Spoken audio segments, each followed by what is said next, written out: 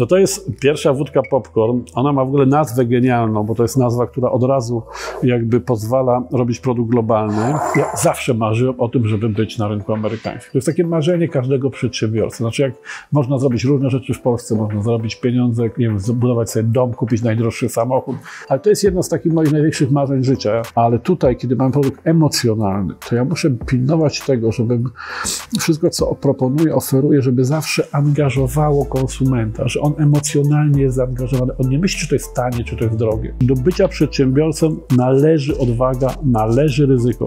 Jak ktoś nie chce ryzykować, to nie musi mieć strategii. Wystarczy, że kopiuje innych i robi to taniej. Żaden alkohol na świecie tak nie smakuje, proszę Państwa, jak popcorn.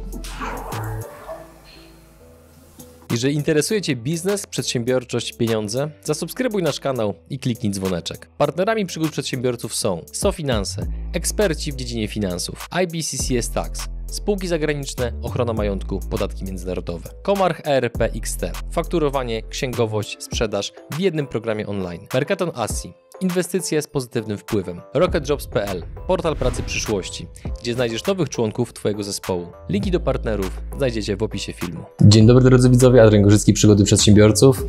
Witam Was w kolejnym odcinku naszego programu. Tym razem naszym gościem ponownie, z czego się bardzo cieszę, jest Janusz Palikot. Dzień dobry. Miło mi, po jakim to jest czasie? Po dwóch latach, dwa i pół mniej To więcej? była Tęczyńska okowita zbiórka, wtedy Tak. Tęczyńskiej okowity. Ta Tak. pierwsza nasza taka zbiórka. Czyli to był listopad, grudzień 2019. To nawet dłużej jeszcze. No. Tak. No i właśnie, co się zmieniło od tego czasu? Gdzie jesteśmy, Panie Januszu? Wszystko się zmieniło. Poza tym, że zostałem królem crowdfundingu, co jest oczywiście bardzo miłe, ale to oznacza po prostu, że zrobiłem pięć zbiórek, które były maksymalnie finansowo skuteczne. Czyli łącznie ile zebraliście? No 25, no 24 tam z kawałkiem, Mhm. no, bo to się zmieniało w zależności od kursu tam euro. Ten limit był wiadomo, w euro Mhm. wyrażony, a złotówka różnie do tego euro się odnosiła. A teraz jeszcze zrobiliśmy taki lending dwa razy, w sumie też już 5 milionów, także zbliżamy się do 30 milionów Mhm. w różnej formie e, crowdfundingu czy lendingu, czyli pożyczkowego systemu. Mało w Polsce popularnego, ale który z kolei dominuje na zachodzie i powinien być w Polsce bardziej powszechny. No co się zmieniło? Wypłaciliśmy dywidendę tamtym wtedy ludziom, którzy zainwestowali po raz pierwszy. Za mną stoją alembiki, które kupiliśmy za pieniądze z tamtej zbiórki. E, Jak pan wchodził tutaj do Taprumu, to jest taka ściana z nazwiskami tych inwestorów. Widziałem. 1400, którzy wtedy wydali pierwsze pieniądze na pierwszą naszą zbiórkę. Obiecałem im wtedy, że ich nazwiska znajdą się na tej tablicy i one są. A ile łącznie osób Wam zaufało przez te wszystkie zbiórki? A to już jest prawie 10 tysięcy osób. Wow. To wszystko razem to jest naprawdę- ogrom. To jest ogrom. To jest rzeczywiście ogrom. No, y, oczywiście niektóre rzeczy poszły świetnie, jak ten czyska okowita, bo po pierwsze jest zrealizowany projekt, po drugie są już dochody, płaciliśmy dywidendę po pierwszym roku. Zrobiliśmy drugą zbiórkę, która się w rekordowym czasie 4 godzin, czy tam 6 godzin, nie pamiętam, ale paru godzin zebrała. W każdym razie nie, nie dni czy tygodni, tylko paru godzin. Więc to poszło bardzo dobrze. Inne jak ten czynek bezalkoholowy wolniej, dopiero teraz uruchamiamy, no ale trafiliśmy na pandemię, trafiliśmy na prawda, e, e, opóźnienia związane także teraz z tą wojną. No po prostu część materiałów, surowców e, e, przyjechała później, ale też jest na szczęście zakończona ta inwestycja i w czerwcu rozpoczynamy produkcję. Ale tak czy inaczej, przede wszystkim zebraliśmy 10 tysięcy ludzi, i którzy po prostu zaufali, położyli pieniądze. Doprowadziliśmy firmę we, w zeszłym roku, cały ten koncern manufaktury do spektakularnego wzrostu. Mieliśmy 1000% wzrostu e, przychodów w stosunku do roku 20. No, oczywiście no, z bardzo małej pozycji, tam 5-6 milionów złotych, weszliśmy na 50-60 milionów w zeszłym roku, no, ale to jak się Tak, to, jest, popatrzy... to jest tak ogrom. To jest, to jest niewiarygodny skok. Ten rok jest też niesamowity, bo cały czas utrzymujemy ogromny, e, wielosetprocentowy wzrost przychodów. Właśnie głównym problemem jest bardziej to, jak zorganizować pieniądze na wyprodukowanie wszystkiego, co możemy sprzedać, niż cokolwiek innego. E, No, gdzieś w stosunku do tej firmy z 2019 roku, no to jesteśmy kompletnie gdzieś indziej, y, od strony, nie wiem, wielkości zespołów ludzkich, ilości. Ja mam w tej chwili 70-80 indeksów, czyli to, co tutaj widzimy, tych różnych produktów, które się pojawiły, a następne 20-30 w procesie. Wychodzimy poza branżę alkoholową, będziemy robili pod koniec tego roku pierwsze produkty niealkoholowe. E, e, To będą chipsy. Weszliśmy do Ameryki, stworzyliśmy spółkę, która w tej chwili zdobywa e, certyfikaty na dopuszczenie tych produktów na rynek amerykański. Tam jest trochę skomplikowana procedura, ale w każdym razie to jest, e, e, rynek amerykański jest największym rynkiem dla mocnego alkoholu. Znaczy ja zawsze marzyłem o tym, żeby być na rynku amerykańskim. To jest takie marzenie każdego przedsiębiorcy. Znaczy, jak można zrobić różne rzeczy w Polsce, można zarobić pieniądze, nie wiem, zbudować sobie dom, kupić najdroższy samochód, co człowiek chce. Ale wejście na rynek amerykański, pojawienie się w sklepach w Stanach Zjednoczonych w taki zauważalny sposób, że jestem w iluś punktach, nie wiem, 10% dystrybucji numerycznej nawet, już nie mówię o jakimś większym, no to to jest po prostu od razu e, no, coś, co jest marzeniem każdego przedsiębiorcy. Ja wcześniej z żołądkową gorzką, czy e, tam z Dorato, no to miałem małe szanse, bo to były, w przypadku Abry to były jednak produkty, które były adoptowane z innych produktów do kultury polskiej. Żołądkowa gorzka była mega trudna od strony jakby też językowej e, do, do, do, do zbudowania wokół tego produktu. Natomiast popcorn, palikot, czy inne produkty, które teraz robimy, okowity, to są produkty, które mają potencjał globalny, potencjał ogólno, no, ogólnoświatowy. W związku z tym, i oczywiście no, wie, wie, droga do zdobycia świata wiedzie przez Amerykę, jeżeli chodzi o alkohol, ale większość y, y, kategorii rynkowych, ale alkohol w szczególności. Więc to jest dla mnie to, co się teraz stanie, właśnie w tym 22 roku, w drugiej połowie roku rozpoczniemy sprzedaż w Ameryce i potem będziemy pewnie rok, dwa czy trzy to budowali, bo to oczywiście nie jest powiedziane, że od razu pierwszy strzał będzie strzałem właściwym. Ale to jest jedno z takich moich największych marzeń życia. Ja mam po raz pierwszy takie coś, co w 2019 roku, jak żeśmy rozmawiali, ja to przeczuwałem z okowitami, ale jeszcze nie wiedziałem, że, że te wszystkie inne rzeczy, które zrobimy, dadzą po prostu takie, taki, taką bazę niesamowitą tego potencjału, że my możemy naprawdę zrobić po raz pierwszy firmę globalną. No i teraz kolejne pytanie. Dlaczego chipsy? Może banalne, ale czy to wynika z tego, że to jest po prostu komplementarny produkt do no. alkoholu, czy z jakiegoś innego powodu? W szczególności do piwa, bo w naturalny sposób, jak ludzie kupują piwo, no Żabka jest naszym, powiedzmy, głównym partnerem, chociaż nie jedynym, ale no największym, ma 8 tysięcy punktów sprzedaży detalicznej. Mamy z nimi dosyć ścisłe partnerstwo. Prawie wszystkie te produkty są, były albo będą e, w Żabce, albo na stałe, albo na jakichś inautach. No i to się pojawiło od strony jakby e, klienta, czyli od strony Żabki, którzy mówią do nas, słuchaj, to jest e, super z tymi produktami, ale widzimy, że jest pewien potencjał, na przykład właśnie w chipsach. Gdybyście zrobili chipsy tak jak piwo, buch, chipsy e, o smaku konopi, które po prostu mają zapach suszu konopnego przy otwarciu, prawda? I, I one są oczywiście masowo używane jako dodatek do piwa, czy także do wódki, ale głównie do piwa to w naturalny sposób e, e, wchodzicie w taki jakby już oczekiwany świat e, przez z kolei tych, którzy kupują żabce.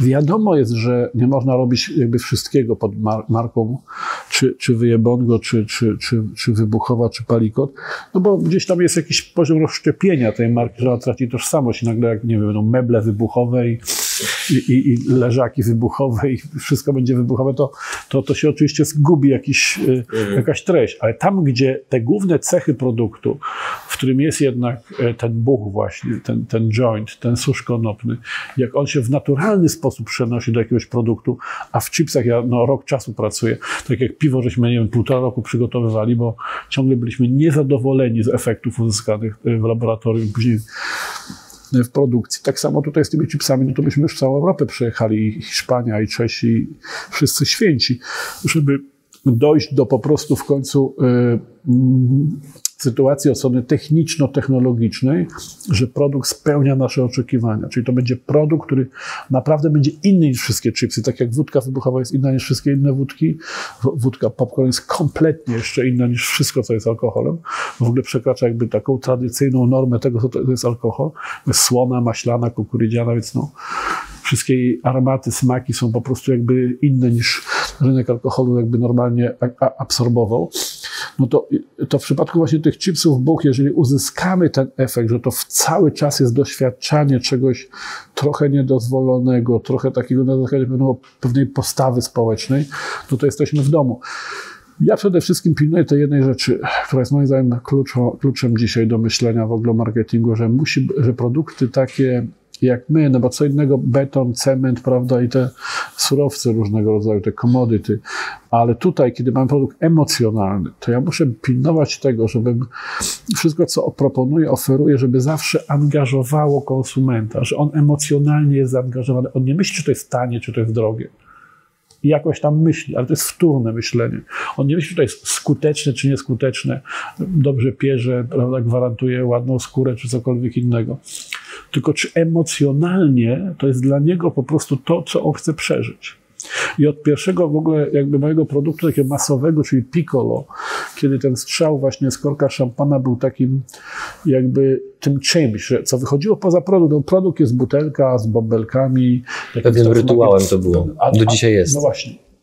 Ja uważam, że szukanie tego typu właśnie rytuałów, tego typu podstawowych emocji, w które my się wpisujemy z jakimś produktem. Ten dźwięk otwieranej puszki chociażby, który kojarzy się z orzeźwieniem dla przykładu. No właśnie, no to są, to są właśnie takie przykłady. Czy, czy Tesla jest samochodem? Pytanie wydaje się absurdalne, prawda? Zdaję specjalnie a propos nie, na, nie mojego produktu. Mhm. No tak, jest samochodem, bo jeździ. Ale czy sens tego produktu, jakim jest Tesla, wypełnia się w tym, czy on szybciej, wolniej e, jeździ? No, nie zatruwa środowiska. To go troszeczkę może trzyma blisko tych samochodów, ale wszystko inne, co jest w Tesli, to nie jest kwestia e, motorycznych e, cech silnika, skrzyni biegów i tak dalej. To jest po prostu emocja, to jest pewna postawa wobec świata. I to się, co się udało Maskowi zrobić niesamowitego, on to przenosi na inne kategorie, że on po prostu nadaje im wszystkim barwy silne, emocjonalne. To jest samochód, ale to nie jest tylko samochód, to jest coś więcej niż samochód, to jest coś innego niż samochód, chociaż też mhm. samochód. I tam, gdzie robimy to samo z wódką, ubraniem, czy nie wiem, y, co, czymkolwiek innym, kursem, nagraniem, programem, prawda, gdzie wykraczamy poza pewną oczywistość tego, czym dana rzecz jest. Kurs marketingowy, produkt alkoholowy, moda i tak dalej. I dokładamy do tego pewną emocję. Ona się oczywiście zmienia, bo społeczeństwa mają swoje fazy, prawda? I czym innym jest dzisiaj jakby yy, zbycie społeczne w Polsce teraz, no, też w ciągu ostatnich dwóch miesięcy pod wpływem wojny na Ukrainie, a nie wiem, w latach 90. To są zupełnie inne emocje, więc to trzeba zawsze widzieć, jak to się e, e, e dzieje. Myślę, że my mamy tutaj największą kompetencję w tej dziedzinie, że my potrafimy jakoś złapać te, te, te emocje. No i potem je zamykać w tych produktach, za, za jakoś za, za podłączyć do, pod tą markę i trzymać je w, w tych produktach. No. Pozwolę sobie na chwilę wrócić do chipsów. Mhm. Czy chipsy są porównywalnym rynkiem do alkoholu? Mniejszym? Większym? To jest pierwsza część pytania. I druga, czemu chipsy, a nie na przykład paluszki? Więc y, y, rynek alkoholowy jest większy od rynku chipsów i to dużo większy. Oczywiście rynek alkoholowy, trzeba pamiętać, jest jakby napompowany wartościowo akcyzą. Czy udział podatków w wódce, mocnych alkoholach, ale w ogóle we wszystkich, w piwie i w winie też, jest tak duży, no że to, to, gdybyśmy wzięli rynek alkoholu bez akcyzy, no to, to by się zbliżył do rynku chipsów, no ale niestety trzeba sfinansować te kilkadziesiąt procent czasami, albo kilkanaście procent w produkcie tej akcyzy, więc to powoduje, że te, to są wieloset miliardowe rynki. Natomiast w przypadku chipsów tego, tych podatków nie ma, więc to jest pewna podstawowa różnica. Druga rzecz, chipsy, y, paluszki czy popcorn, no to są różnego rodzaju y, dodatki, takie właśnie e, e, znaki, których używamy jakby w kulturze dzisiejszej masowej, w kinach, na przyjęciach, na spotkaniach, na wyjazdach, na jakichś właśnie spotkaniach firmowych. One są już e, elementem takiego codziennego życia, nie wiem, jak guma do rzucia, jak tankowanie samochodu, tak samo te, te, te chipsy, czy popcorn, czy, czy paluszki do tego dochodzą. Myśmy jakoś uznali, że, że chipsy Buch mają taką przez bardzo bliskość do piwa Buch, czyli do tego naszego pierwszego produktu, który jakby w pewnym sensie zawłaszczył kategorię piw suszem konopnym. To jest jakby ikona, tak jak nie wiem, Adidas jest ikoną buta sportowego, czy Xerox, Xerox jest Xero kopii, prawda, ikoną. I są takie przykłady, jakaś pierwsza firma wchodzi. Na przykład Pampers Pielucha. No Pampers, i to wszyscy uważają, że to już jest Pampers. A to wiadomo, że nie jest Pampers, bo tych firm jest, są setki. Łącznie z naszymi to, zakładami opakowań sanitarnych, nazwa niemarketingowa, ale świetna firma, która ma ogromny tak. udział w europejskim yy, rynku tych wszystkich higienicznych materiałów. Więc no, yy, tu nam się z tym buchem udało jakby nazwać kategorię.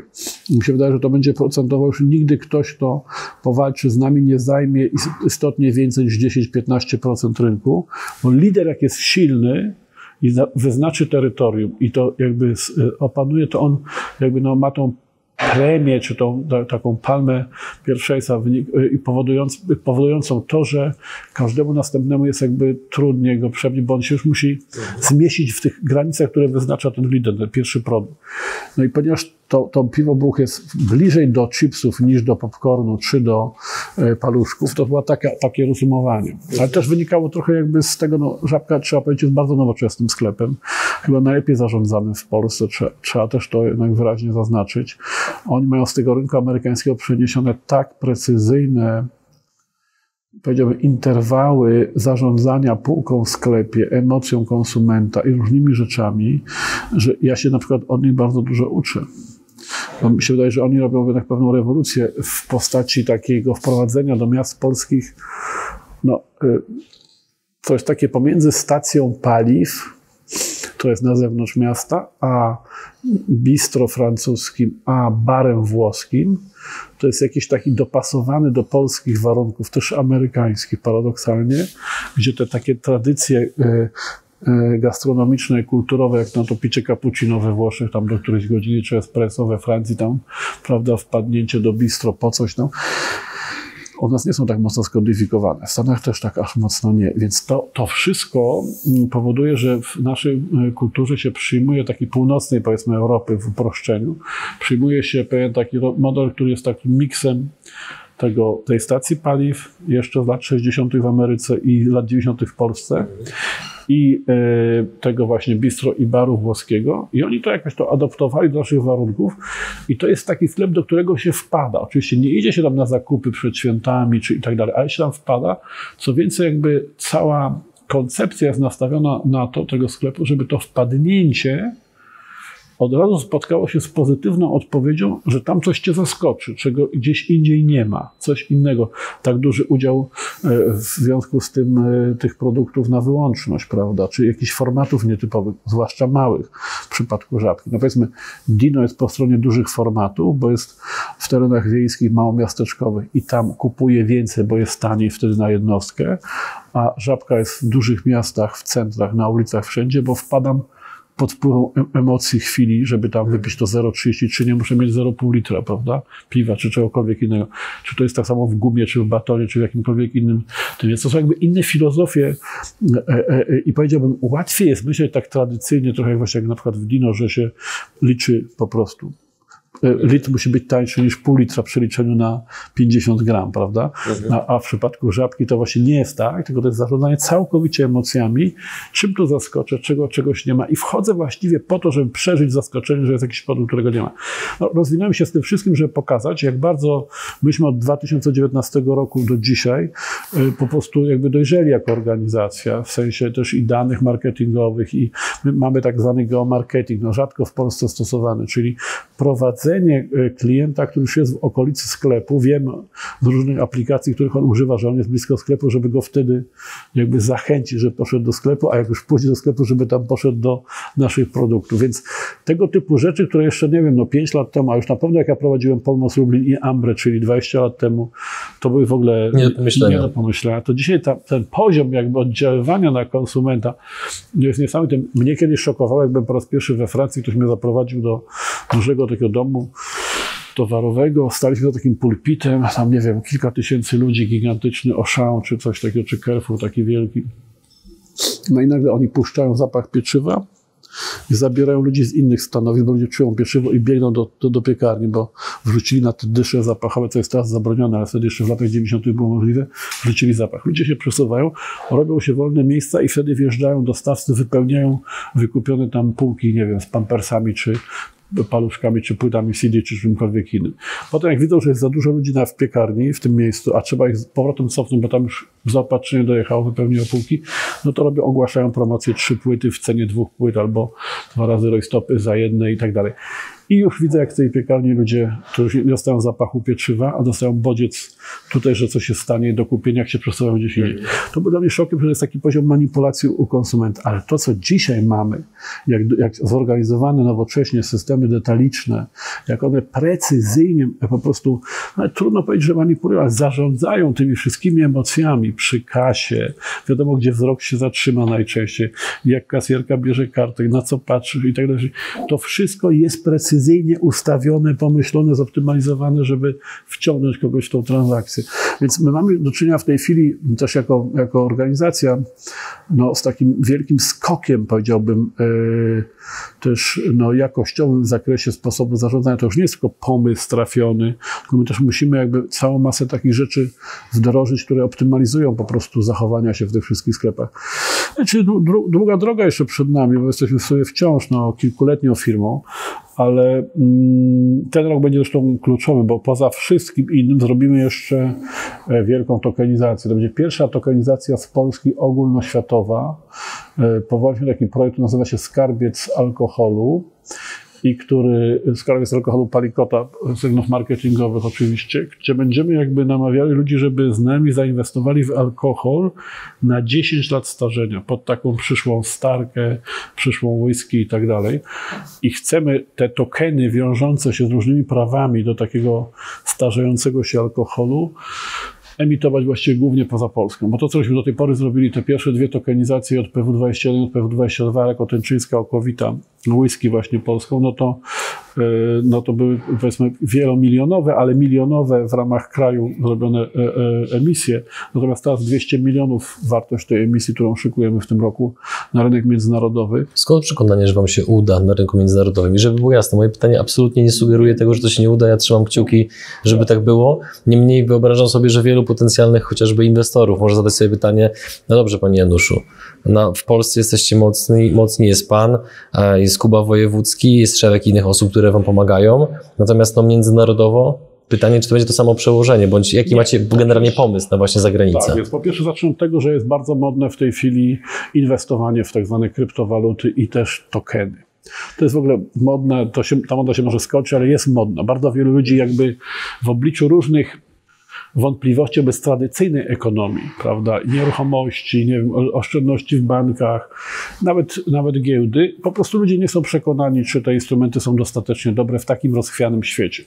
Natomiast to, co zapewnia im to technologia blockchainu, zdecentralizowane zarządzanie tym procesem, że tam nikt nie manipuluje, nie gra żadna giełda, rada giełdy, KNF czy ktokolwiek, nie gra na jakieś zwyżki czy zniżki, bo to jest zdecentralizowane. Ludzie wcześniej to uwierzyli i nawet jeżeli wydają niewielkie pieniądze, no to jeżeli jest, nie wiem, miliard inwestorów i wydają po 10 dolarów, to jest 10 miliardów, prawda? Więc to przykład takiego sushi coin, czyli monety, która no, nazywa się w sposób zabawny, śmieszny pieniądz sushi, ale na tyle jest to jakby atrakcyjne, że bardzo wielu ludzi wydaje po parę dolarów, a to tworzy w skali po prostu roku przez miliony takich transakcji no niewiarygodne pieniądze, które napływają do tego systemu.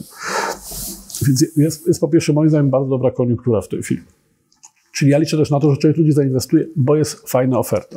Na czym polega fajność tej oferty? Po pierwsze na to, że jesteśmy pierwszą z Polski taką ofertą, bo jest wiele ofert z różnych tradycyjnych już dla tych rynków azjatyckich, czy prawda, arabskich, czy amerykańskich, a z Polski takiej dużej oferty międzynarodowej jeszcze no, nie Skala jest naprawdę imponująca. No więc to, to będzie po prostu oznaczało, że yy, ludzie się temu przyjrzą. Polska jako producent alkoholu, szczególnie też właśnie wódki i mało znanej wódki starzonej, w sytuacji, kiedy w ogóle jest moda na starzony alkohol, no ma jakąś unikatową po prostu kompetencję. Jak pan pojedzie do Stanów Zjednoczonych, to pan wszędzie spotka Chopina, wódkę, wyborowa jest w większości krajów na świecie.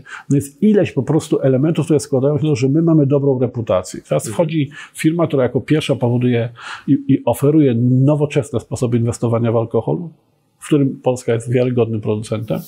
Za tym też stoją nasze tutaj i urządzenia, fabryki, zakłady i też będziemy na giełdzie już notowani przecież w Warszawie za chwilę. Więc jest ileś tych czynników, które bardzo to uwiarygadniają. Więcej, powiem tak, jest w tej chwili jakiś jeden z tych trendów w mocnym alkoholu jest ten trend na e, marki kraftowe, nie z wielkiego koncernu, które są limitowane w ilości. Jest cały rynek kolekcjonerów, którzy kupują whisky tajwańską, nie dlatego, że jest lepsza od whisky szkockiej albo że jest lepsza od whisky japońskiej, tylko że whisky tajwańską. I chcą mieć swoje jakby piwnicy, czy swoim, w swoich instrumentach finansowych, oprócz inwestycji tam w różnych producentów whisky tradycyjnych krajach, czy nowych, ale już jakby jak Japonia ustabilizowanych, chcą mieć coś kompletnie nowego. No ja uważam, że whisky Polska z kraju, który jest tak kompetentny w produkcji mocnego alkoholu, jest w naturalny sposób ciekawa dla tych milionów inwestorów.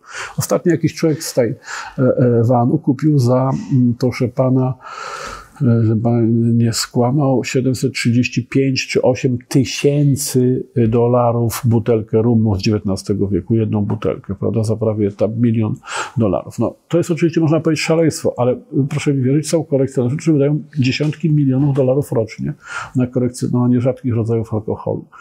I jeżeli, ja nie wiem, że my aż będziemy tak niszowi, no nie będziemy z XIX wieku, ale jednak jak ktoś ma jakąś grupę whisky, i dlaczego ja nie robię kopii whisky japońskiej, czy, czy szkockiej, czy irlandzkiej. Moja whisky polska będzie whisky to z innego torfu, z nadbiebrzy, będzie miała inną beczkę na końcu, czyli owocową, czarna porzeczka i tak dalej, do jakby finiszowania smaku, a nie właśnie po whisky irlandzkiej czy amerykańskiej, co tam na początku się używa dla złagodzenia, ale finish właśnie chce zrobić nie w Porto, nie w tym, tylko w, beczkach po polskich winach owocowych, jakościowych, żeby nadać temu profil zupełnie inny. Ludzie będą wiedzieli, że to smakuje inaczej niż whisky szkocka, inaczej niż whisky irlandzka, chociaż jest robione tak samo, trzy lata w beczkach, ale beczki inne, a torf inny, a dymienie czymś innym i to w końcu daje inny profil. Jak mam inny profil, to przy tak gigantycznym gigantycznym rynku, jaki w tej chwili jest, zwłaszcza w tej sytuacji, kiedy mamy sprzedaż bezpośrednią, która jeszcze kiedyś była nie do pomyślenia, a więc sprzedaż, że, że ja w zasadzie nie potrzebuję pan gigantycznego kosztu. I pan sobie wyobrazić, że ja mam rozwieść moją whisky po wszystkich kontynentach świata prawda, zorganizować dystrybucję, merchandiserów, przedstawicielstwa handlowe, zarządzać tą całą gigantyczną infrastrukturą, którą musi zarządzać Pernod Ricard, Wyborowa, czy wszystkie te największe koncerny światowe. A ja dzisiaj mam sklep internetowy, ja mogę dostarczyć do Chin, do, taj, do Tajwanu po kosztach oczywiście dostawy, ale ja nie wchodzę w to wszystko. I nie Cały ten łańcuch. I mam tego wielkiego problemu, że taka butelka drogiej whisky z Polski w jakimś sklepie w Singapurze będzie stała miesiąc, dwa albo trzy, hmm. zanim ktoś ją kupi. Tylko ona stoi sobie u mnie tutaj w piwnicy dojrzewa. Jak jest zamówienie, ja ją butelkuję, wysyłam i tak dalej. Więc to jest absolutna rewolucja, która się dokonała od strony właśnie, i w pewnym sensie pandemia, trzeba powiedzieć, na korzyść COVID-u. COVID nam pomógł jakby od nowa ułożyć rynek. Mhm. I niesamowicie go zdemokratyzował. Dlatego, że wejście takich graczy jak ja do sprzedaży ogólnoświatowej, co się jeszcze nie zdarzyło, ale się za chwilę zdarzy, jest w najlepszej drodze, no byłoby 5 lat temu niemożliwe.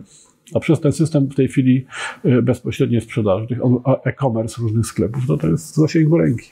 Trzeba mieć dobry produkt, fajną komunikację. Teraz tak, czy my będziemy mieli na Amerykę kogoś innego niż Kuba Wojewódzki? Tak. Mhm. Czy będziemy kogoś innego na rynek chiński niż Kuba Wojewódzki? Tak. Kim będą te osoby? A to się okaże za chwilę. Musiałem zapytać, przepraszam. To się okaże za chwilę. Oczywiście to muszą być ludzie, którzy są wojewódzkimi Ameryki, czy Chin, czy Japonii, prawda?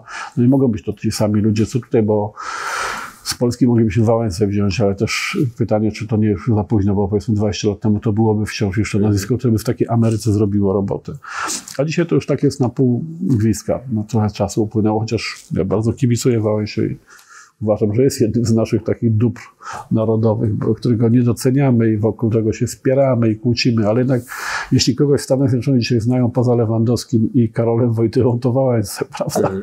Więc to, to jest takie coś, co w świecie marketingu personalnego, jaki dzisiaj jest dominujący, no to jednak jest pewna wartość, o której myśmy się tutaj w Polsce jakby nie zatroszczyli. Ale anyway, to już jest za późno. Po prostu spróbuj.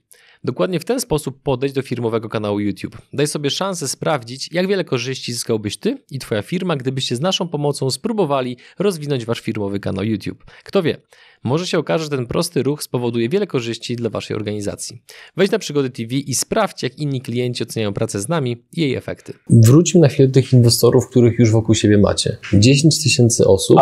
To jest Pokusiłbym się o hipotezę, że prawdopodobnie w historii kapitalizmu w Polsce nikt nie zgromadził tylu ludzi wokół jakiegoś projektu, którzy powierzyli swoje pieniądze. I to jeszcze nie w dodatku nie są żołnierze wyklęci, ani armia krajowa, tylko Dokładnie. po prostu inwestorzy. No i teraz właśnie, gdybyśmy mogli troszeczkę spojrzeć od strony kulis na to wszystko, czego Pana, no bo pomimo tego, że Pan już rozpoczynając e, crowdfunding, miał za sobą gigantyczne doświadczenie biznesowe, no to jednak, przepraszam, powiem wprost, wchodził Pan w totalnie nowy obszar.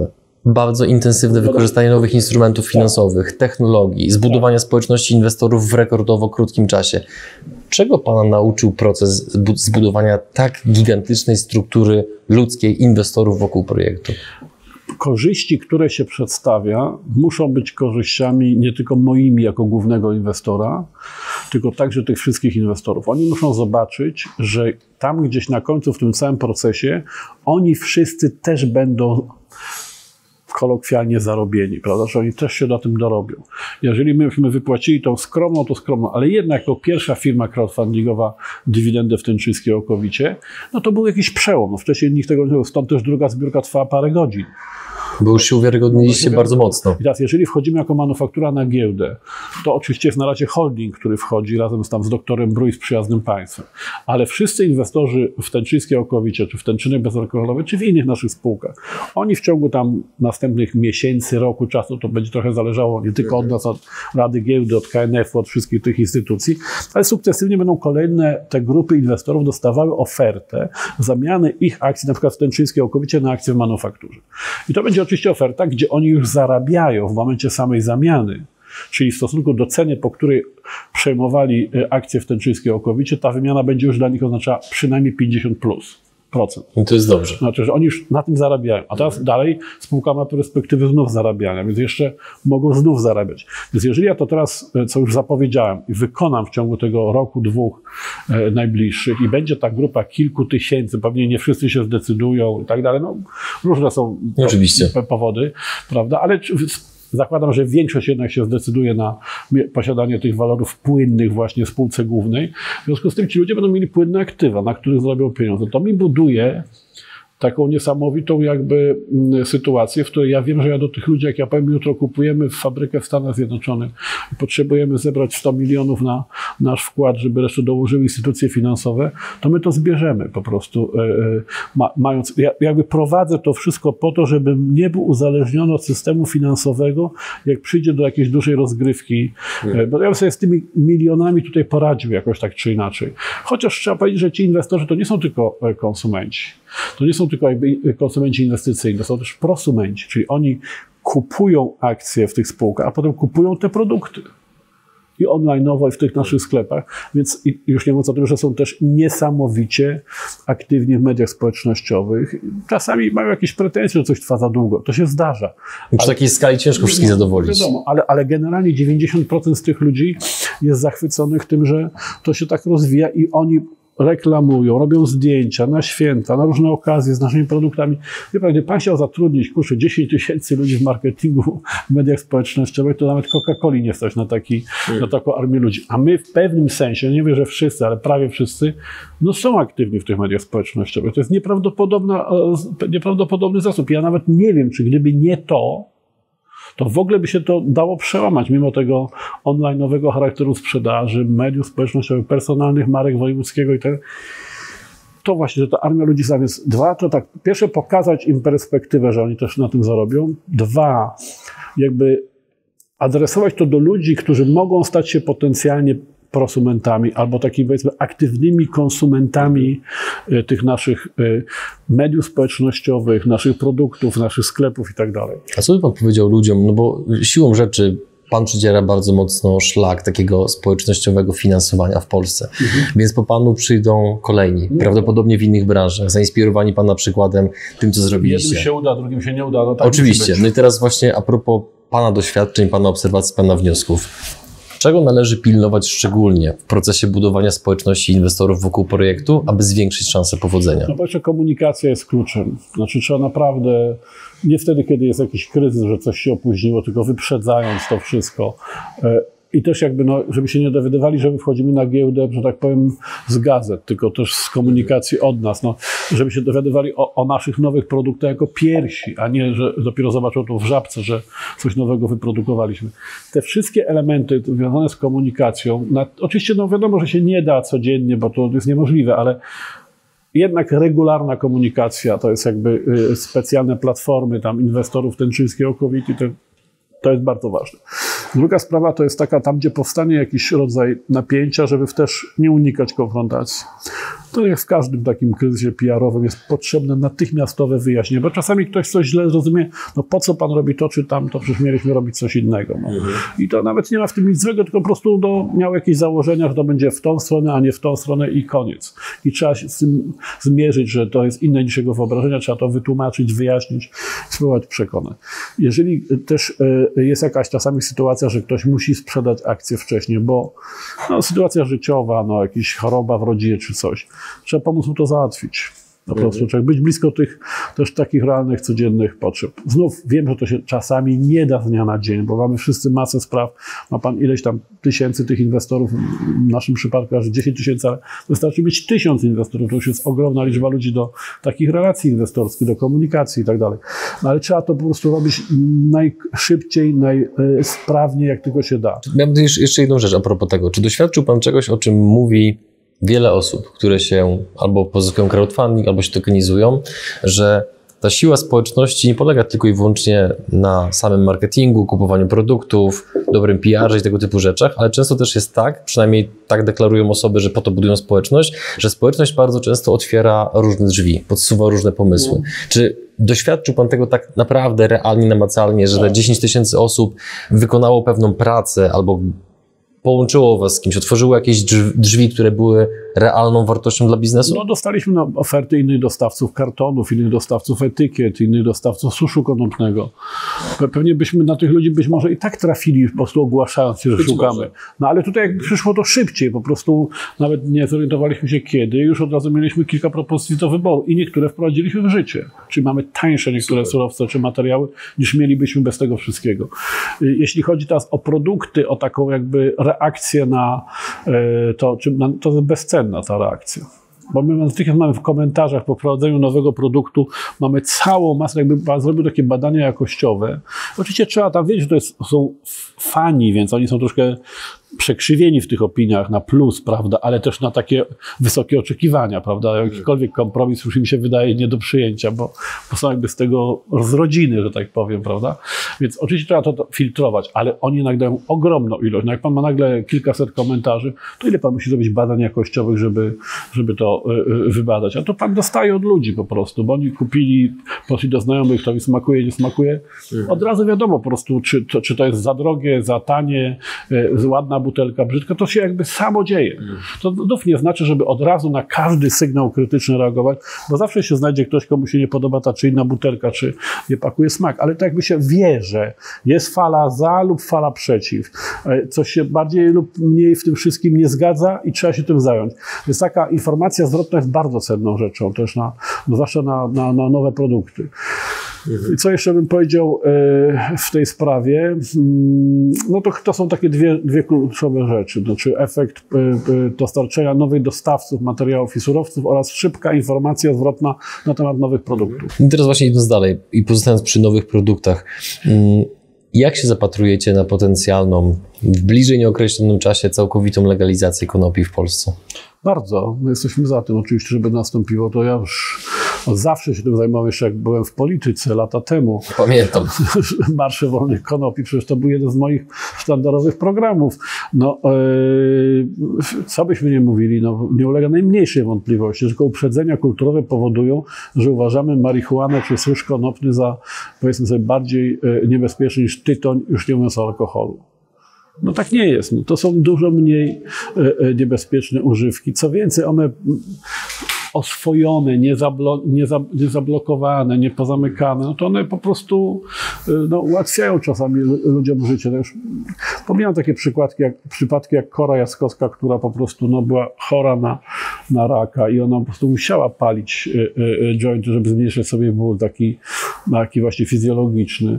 No ale, ale jest bardzo wielu ludzi, którzy mają skłonności depresyjne, którzy mają jakby no, różne problemy same, sami z sobą, to im takie rzeczy pomagają. Ja na przykład nie używam, bo ja mam odwrotnie, ja muszę się stępić, prawda? Mam nadwyżkę po prostu mhm. E, kreacji, nadwyżkę jakby gonitwy myśli, spraw różnych i tak dalej. Nie potrzebuję się pobudzić, ale... Czy marihuana nie wycisza pana?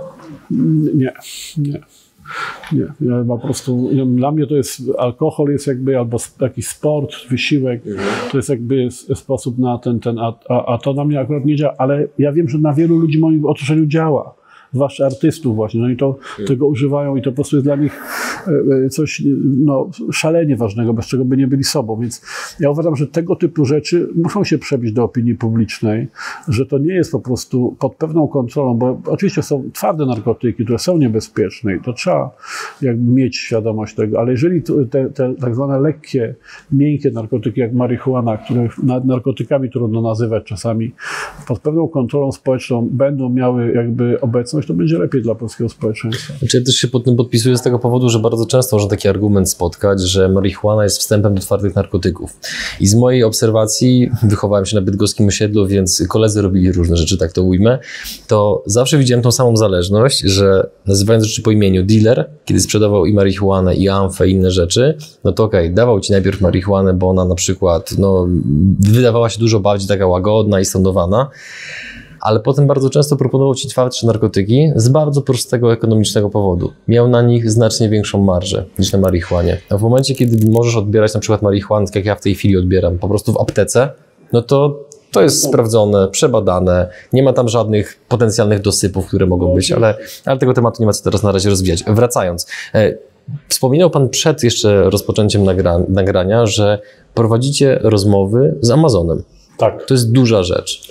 No, jestem z tego bardzo dumny. Dzisiaj opublikowaliśmy w ogóle list intencyjny zawarty z jedną firm pośredniczących w skali europejskiej w prowadzaniu produktów do Amazona. No, to jest tak ogromny organizm, taką... Mhm.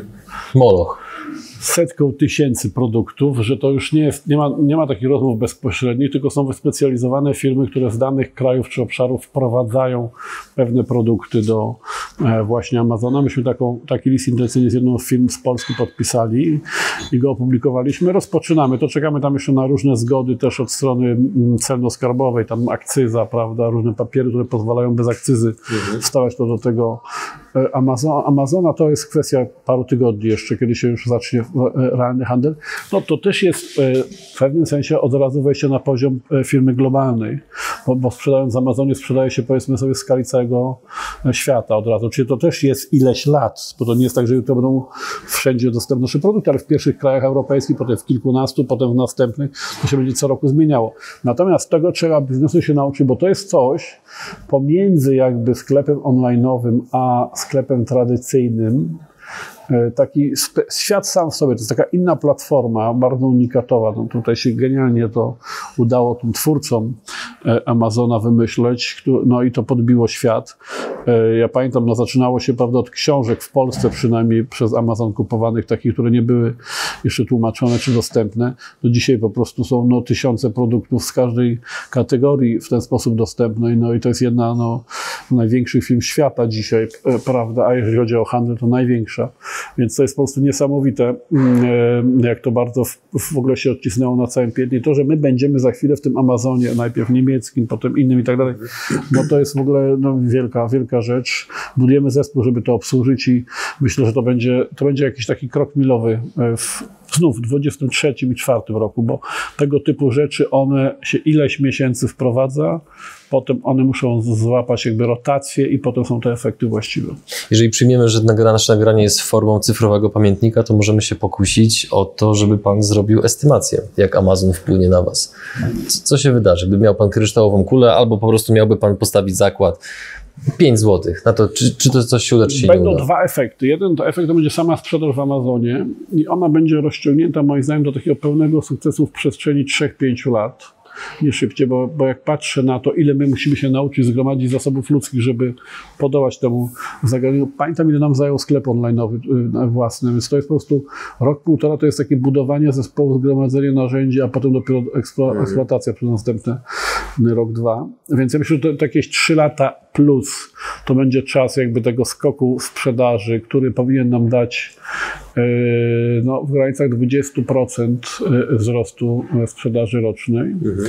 Natomiast efektem paradoksalnie uważam dla nas ważniejszym będzie jednak e, to, że wielu mm, jakby takich graczy w tradycyjnym rynku właśnie, działających w Niemczech, w Francji, Włoszech czy w Stanach Zjednoczonych, pod wpływem tego, że nasze produkty będą w Amazonie, oni się do nas zgłoszą, żebyśmy dystrybuowali te produkty z nimi w tradycyjny sposób do tradycyjnych sklepów.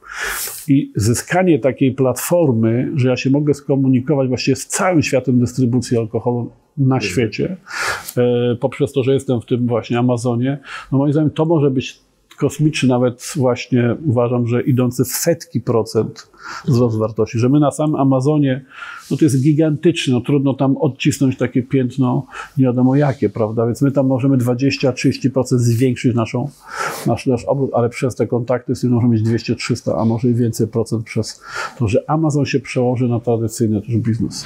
W prasie biznesowej bardzo często można spotkać artykuły, które e, traktują o tak zwanych polskich jednorożcach, głównie z branży technologicznej, typu e, Boxy, DocPlanner no oraz tak, szereg innych projektów.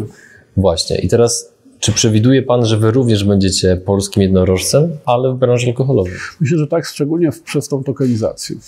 Znaczy, to tutaj w branży alkoholowej światowej w ogóle jest y, no niewielka liczba przykładów. My jesteśmy jednym z nielicznych w ogóle, które zrobiły tokenizację i teraz jak zrobimy tą dużą tokenizację, to będzie moim zdaniem gigantyczny przełom właśnie w tej branży alkoholowej. Taką firmą możemy być i moim zdaniem to właśnie to jest to, czego Polska dzisiaj potrzebuje. Polska potrzebuje, pomijając już moje interesy i, i, i skutki finansowe z tym związane, Polska potrzebuje jako kraj, my potrzebujemy jako Polska e, po prostu produktów premium, nowoczesnych instrumentach finansowych czy nowoczesnych technologiach oferowanych na całym świecie, bo to buduje reputację całego kraju.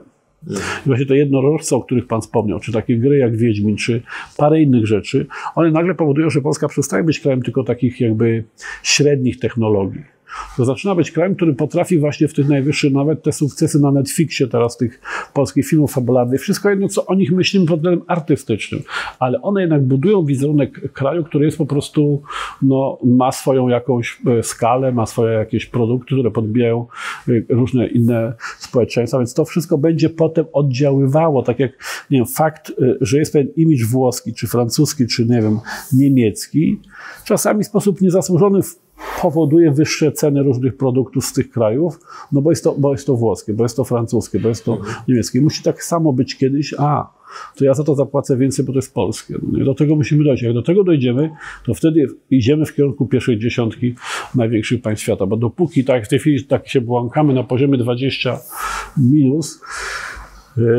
no bo nie mamy tych high technology. Mamy tą, to już bardzo dobrą reputację jako taki dostawca średnich technologii, części zamiennych, mebli, żywności, różnych innych rzeczy, top, top, top, bardzo dobrze, ale nie super premium. Mhm. Tego nie umiemy wciąż robić. Często się mówi, że droga daje dużo więcej satysfakcji niż są cele, które osiągamy. No, Natomiast z braku lepszej konstrukcji zapytam dokładnie w ten sposób. Gdzie jest biznesowy Mount Everest palikota? No, być w na każdym kontynencie, w każdym kraju z jakimś z tych produktów. Mhm. Jak tak będzie, tak jak dzisiaj, no nie wiem, wyborowa się o to ociera, czy Chopin, chciałbym, żeby wódka palikot, popcorn, czy wybuchowa, czy okowita była po prostu na każdym kontynencie, w każdym kraju, nie w każdym sklepie, bo to jest niemożliwe, ale po prostu, żeby e, człowiek mieszkający gdzieś w Azji, czy, czy w Ameryce Południowej, czy Środkowej mógł sobie to kupić, mhm. przynajmniej w największych miastach w tych, w tych państwach i na tych kontynentach. Kolejne pytanie jest trochę delikatne, więc proszę go nie odebrać jako okazanie braku szacunku czy cokolwiek takiego. Po prostu staram się wczuć w skórę potencjalnego inwestora, który może zapytać o różne rzeczy. Co się wydarzy, zadzieje z całym projektem, jeżeli na przykład panu coś się stanie, nieszczęśliwy wypadek? No to się generalnie zdarza w życiu. Już... Jestem ubezpieczony, ale to nie załatwia sprawy. Wiadomo. Oczywiście. Natomiast nie no, tutaj powstaje wspaniały team. Oczywiście pytanie jest, kiedy coś takiego miałoby się wydarzyć, dzisiaj, czy za rok, czy za dwa, ale tutaj ludzie, z którymi ja buduję ten, e, ten e, projekt, e, Łukasz Piłasiewicz, Przemek Bobrowicz, Tomek Nietubyć, Tomek Czechowski, Sebastian Jabłoński,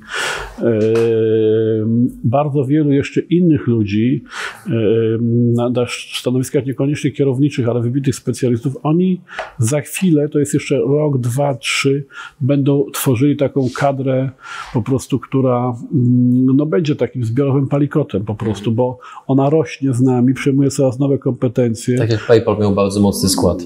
I to jest moim zdaniem, to jest co, co ja zawsze umiałem robić I, i wcześniej w biznesie, w Amrze w Polmosie, potem w polityce miałem przecież 10 tysięcy członków w roku palikota. To też jest nieprawdopodobna skala, żeby tym mhm. jakoś zarządzać. I Wydaje mi się, że taki zespół tutaj powstaje, on jeszcze będzie 2-3 lata budowany, on będzie mógł mnie zastąpić, będzie nawet musiał mnie zastąpić, bo ja dzisiaj jeszcze dosyć szczegółowo angażuję się w różne sprawy, nawet produkcyjne w tym czynku, już nie mówiąc o marketingowych, bo to oczywiste, ale przecież na razie mamy dwa zakłady, za chwilę będziemy mieli pięć zakładów produkcyjnych, na razie mamy je w Polsce, będziemy je za chwilę mieli w pięciu krajach. No więc nie da się tego już później tak szczegółowo analizować. To już musi być ktoś, kto za mnie to robi na tym poziomie. I oni też będą musieli mieć swoich ludzi do poszczególnych mhm. zakładów w ramach ich obszarów, prawda, zarządzania. Więc ta firma będzie się stawała taką firmą bardziej złożoną, bardziej korporacyjną i taką już opartą więcej o procedurach niż o taki team, ale ten team jest bardzo ważny, żeby ludzie, którzy będą nawet poprzez pewne procedury mieli ze sobą kontakt, żeby oni wiedzieli, z kim mają do czynienia po drugiej stronie, czego się spodziewać po tym człowieku, co on z siebie da, żeby wyjść z jakiegoś e, e, e, problemu, trudności, zakrętu. Więc moim zdaniem to jest podstawowa cecha. No a poza tym są po prostu produkty, bo Czym innym by to było dwa lata temu, no to wtedy by się prawdopodobnie nie udało. Ale dzisiaj, kiedy mamy już kilka produktów, o których wiadomo, że one mają potencjał ogólnopolski i ogólnoeuropejski, jak właśnie Buch, czy, czy, czy Okowity, czy Wyjebongo, no to, to trzeba kontynuować. Także to firma już jest ustawiona, także ona może bez palikota przez jakiś czas jeszcze rosnąć, ale powstaje zespół, ten zespół kiedyś mnie zastąpi. I tu pytanie pogłębiające jak kompletuje się zespół wybitnych menadżerów? No moim zdaniem trzeba jednak iść od dołu. Znaczy jest jakaś grupa ludzi, z którymi zaczynam, oni się wszyscy uczą, my się wszyscy uczymy. Dobrze jest, że ja tych ludzi awansuję na coraz wyższe stanowiska i coraz bardziej samodzielne stanowiska. Oni dorastają do tych stanowisk. A jeżeli nie dorastają? Czasami trzeba wziąć kogoś z zewnątrz. Poza tym czasami rozwój jest tak szybki, że nie wystarczy tych ludzi, którzy są na początku że trzeba się do, do, do, doposażyć zewnętrznymi. Też pewna, pewien stopień skomplikowania wymaga innych jeszcze e, doświadczeń, które mają ludzie, którzy już pracowali w dużych organizacjach i trzeba się nimi wzmocnić. My to teraz robimy, mamy łowcę głów i po prostu zatrudniamy menadżerów też spoza naszego środowiska wyjściowego e, i, e, i to jest nie do uniknięcia. Jeden technolog, Sebastian Jabłoński, ok, ale my potrzebujemy w tej chwili pięciu technologów Paweł Zarychta, prawda, Janusz Luty, niektórzy ściągnięci z wcześniejszych doświadczeń, inni odnalezieni, a inni, w których inwestujemy. Mhm. Mając tyle tych zakładów produkcyjnych, za chwilę tych jeszcze alkotek i tak dalej, ja wszędzie potrzebuję technologów, mistrzów e, tej destylacji, prawda, którzy sobie poradzą na wysokim poziomie z obróbką tego, tego procesu. Więc to wszystko, no niestety, wymaga czasami też wzięcia ludzi z konkurencji, z rynku i tak dalej. Podobnie w, w systemach finansowych, prawda, no, y, też y, y, kontrolingu się uczą ludzie od nas tutaj organicznie, ale dobrze jest czasami wziąć kogoś, kto już pracował w takim rozbudowanym kontrolingu i wnosi pewne e, sposoby działania. No, to jest, to jest, w pewnym momencie to musi być miks. Muszą być i ludzie, którzy rosną, i ludzie, którzy dochodzą z zewnątrz. Używając takiego pięknego polskiego słowa, chciałbym zapytać, z czego się bierze Pana drive? No bo mówiąc tak trochę, trochę wprost i skracając dystans, pan już swoje zarobił. Niczego panu prawdopodobnie nie brakuje, mógłby pan sobie spokojnie żyć na emeryturze. Oczywiście, żeby było jasne, ja prawdopodobnie umrę pracując, bo po prostu lubię to, co robię. Wyobrażam sobie, że w pana przypadku jest podobnie. Niemniej chciałbym, żeby pan opowiedział trochę o tym właśnie, skąd się bierze pana napęd, żeby robić rzeczy w tak dużej skali. Jest to, to jest jakaś adrenalina związana z tym, to jest trochę jak w seksie. Dlaczego to dobrze, się, nie, dobrze się zaczęło. Dlaczego to się nie nudzi, prawda? No to jest tak samo w tym, ja po prostu chcę, żeby te produkty się urodziły, żeby one poszły w świat, żeby one po prostu dały radę, żeby Cieszyły konsumenta. przekonały ludzi, żeby znów trafić w emocje ludzi. To jest taki coś pomiędzy, nie wiem, seksem, hazardem, a odpowiedzialnością. To jest coś takiego, co w, tych, w tym trójkącie się po prostu rodzi takie coś. I to jest w zasadzie istota przedsiębiorczości, bo przedsiębiorca przecież to jest człowiek, który z niczego coś tworzy. To oczywiście odpowiada emocjom konsumentów, musi odpowiadać, żeby się udało, ale tego nie ma. Tego przed chwilą nie było. To nie są kopie istniejących wódek. Ja tylko zrobiłem tańszą Finlandię, czy y, y, słodszą, żołądkową, gorzką, czy prawda, bardziej bąbelkowe Dorato. Nie, to są inne produkty, ich nie było. One powstały, one zostały wymyślone. Wymyślenie tych produktów, wdrożenie ich, uruchomienie, dostarczenie i zareklamowanie i doprowadzenie, żeby one były, to jest taka, takie coś boskiego w człowieku. I moim zdaniem każdy przedsiębiorca, jak mu się udaje zrobić firmę, transakcję, produkt, przeżywa w sobie coś boskiego. Znaczy coś takiego, że po prostu przekraczam zwykłą kondycję człowieka, bo robię coś z niczego. Zbliżając się powoli do końca, mam jeszcze dwa pytania. Pierwsze dotyczy tego, że wy dla mnie jesteście pewnego rodzaju takim fenomenem a propos tego, jak precyzyjnie wy kreujecie produkty, odpowiadacie na potrzeby ludzi, tym bardziej, że tak jak Pan wspomniał, nie kopiujecie nikogo, nie naśladujecie. To jest dużo bezpieczniejsza ścieżka, bo ktoś już ją przetarł, wiemy, że konsumenci tego chcą. Nie ma nic Więc... złego w naśladowaniu. Oczywiście. I Zemi, jeden z największych kreatorów mody, powtarzał, kopiuj tak długo, aż skopiujesz i będziesz lepszy od oryginału, a wtedy zrobisz coś tak, swojego. Picasso i Jobs też mieli na to, na to swoje zdanie. Natomiast na czym polega Wasz fenomen, że wy potraficie tak precyzyjnie trafiać w usta konsumentów? Jak to robicie? Na tyle, na ile Pan może odpowiedzieć. No, znów, to jest oczywiście proces złożony, bo to jest, na pewno jest jakaś intuicja, którą ja mam, czy tam Tomek Czechowski może najbardziej w tej dziedzinie osoby kreowania nowych rzeczy. Że my po prostu jakoś wyczuwamy, że, że ludzie w restauracjach, no trzeba chodzić, trzeba jeść, trzeba pić, trzeba się cieszyć życiem. Bez tego się produktów tego typu nie wymyśli. Jak ktoś jest na diecie, proszę Pana, to nie zrobi sukcesu w alkoholu czy w czymś takim. Nie da się. Po prostu się, musi pan się, musi mieć tą, tą, tą radość życia. I wtedy, jak widzi pan z innymi ludźmi, i dużo trzeba mieć tych spotkań, w różnych miejscach, w różnych restauracjach, w prywatnych domach, z różnymi ludźmi, i z cieślami na, na Podlasiu, i z dyrektorami banków w warszawskiej restauracji, która się specjalizuje we francuskich winach. Jak pan to wszystko przerabia w sobie i to się wszystko w panu kotłuje i mieli, to pan pomału widzi, co tam gdzieś się dzieje, co tam na horyzoncie się, się, się wita. To jest jakby intuicja, prawda? Ona jest doświadczenie 30 lat w moim Tomek ma mniejsze doświadczenie, ma bardzo dobrą intuicję jakby z urodzenia. I dwa, jest potem e, jakby, no, rynek, ludzie, kontakty, jakby taki, taki ten. Potem jest grupa ludzi, współpracownicy, Przemek, tutaj Sara, różni ludzie, którzy są jakby w działaniach marketingowych, prawda, i mają jakby wyczucie, co było w poprzednich produktach, co nie było, w, czego zabrakło, co poszło, co nie, bo nie wszystkie są trafione. Większość, ale nie wszystkie. Przecież my umiemy się szybko zorientować, że coś to nie jest to i, i się z tego wycofać. Więc jest jakby y, korekta zespołu, prawda. Tutaj różni ludzie wchodzą od produkcji, od finansów, jedni to za drogo, drudzy, że za, za skomplikowanie, że nie tak się wyprodukować, że to jest zbyt coś tam, coś tam, coś tam. I to wszystko razem znów jest jakby taka druga faza, która przychodzi. No wreszcie są też niestety, czy nastety badania normalne, prawda, czyli myśmy na początku, jak jeszcze y, przechodziliśmy jakby od piwa do mocnego alkoholu, to myśmy robili takie badania jakościowe. Pan za tym lustrem weneckim, pan stoi, pan widzi, jak ludzie mówią o piwie, o piwie bezalkoholowym, o tym, o tamtym. I pan, to, to, to są badania oczywiście jakościowo, ale nie podają informacji, jak wielu ludziom będzie się to tak samo kojarzyło, ale jak pan uważnie słucha, ma pan doświadczenie, to gdzieś pan w tych formułach, które ludzie wy, wy, wyrażają, wy, kryje jakiś rodzaj lęku albo jakiejś pewności, jakiegoś trendu, który wisi w powietrzu. No i to jest jakby trzecia rzecz, którą trzeba sobie nałożyć. No a wreszcie jest coś e, takiego, co się trochę nazywa szczęście. Jest w tym trochę szaleństwa. No. Nie, nie ma co. Trzeba powołać w bardzo, znaczy do bycia przedsiębiorcą należy odwaga, należy ryzyko. Jak ktoś nie chce ryzykować, to nie musi mieć strategii. Wystarczy, że kopiuje innych i robi to taniej. A jak ktoś e, chce, chce i może i ma zdolność ryzykować i mieć odwagę, to pisze strategię, ona zawsze jest oparta o tym, żeby zarabiać więcej niż inni na tych samych produktach i dlaczego mam to zrobić, to jest jakby element tej strategii ja ją muszę wziąć, robię ją na całe życie, bo tak się ustawiam, zmieniam oczywiście plany taktyczne, techniczne, patrzę co rynek przyniesie, ale konsekwentnie wiem, że do końca życia będę prób, robił alkohole teraz już kraftowe, butikowe, a nie coś innego. I ostatnie pytanie.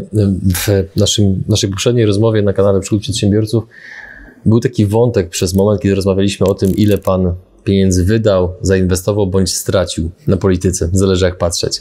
E, I to była kwota, jak dobrze pamiętam, rzędu plus minus około nawet 20 milionów złotych. Czy patrząc z perspektywy czasu, nie ma Pan takiego poczucia, że tak naprawdę to była pewnego rodzaju inwestycja, która zbudowała Panu trampolinę do zbudowania potencjalnie miliardowej firmy?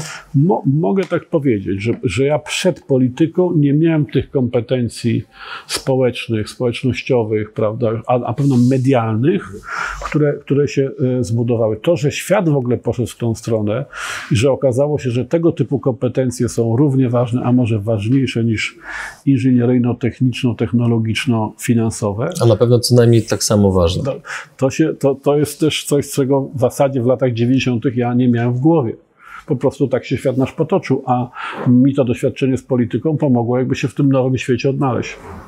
Panie Januszu, kończąc, y, korzystając z tego, że tutaj są między innymi Pana produkty, coś, tak? chciałbym z Panem y, wypić i za to, żeby te wszystkie rzeczy, które Pan mówi, żeby się udały, kibicuję polskiej przedsiębiorczości i życzę temu, że, temu żebyście zbudowali miliardową firmę.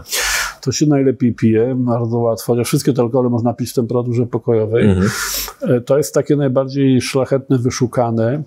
E, to jest z kolei nowość, to, to jest w ogóle, to jest dosyć trudne do picia, ale mhm. bardzo, bardzo oryginalne, bardzo ciekawe. Mhm. No to musielibyśmy drink zrobić, to, to, to nie będziemy pili bez lodu, e, prosecco, szampana i tak dalej.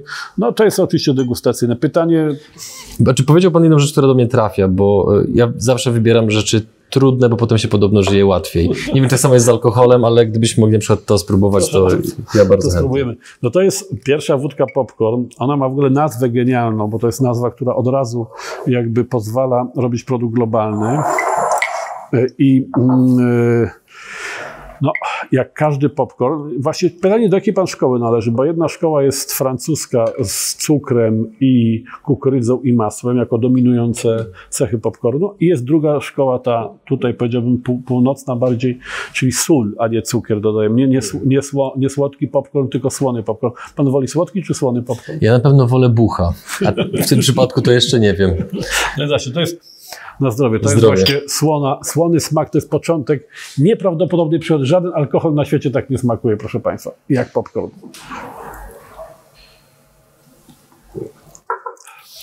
I finisz maślany, lekko kukurydziany, sól na początku. Widzi pan, ja generalnie raczej piję rzadko, a kiedy już piję, to umieram przeważnie. Spodziewa, spodziewałem się, że będzie dużo y, gorzej, mówiąc wprost. Jest bardzo no bo on jest jak, typowe. On jest bardzo zrównoważony, alkohol jest schowany, przyjemnie się to pije, mimo temperatury nie trzeba zagryzać, popijać i tak dalej. No właśnie, nawet, nawet nie chciałem sięgnąć po to. Nie, bo to wszystko samo wchodzi. To jest zresztą najbardziej niebezpieczne w tym, co robimy.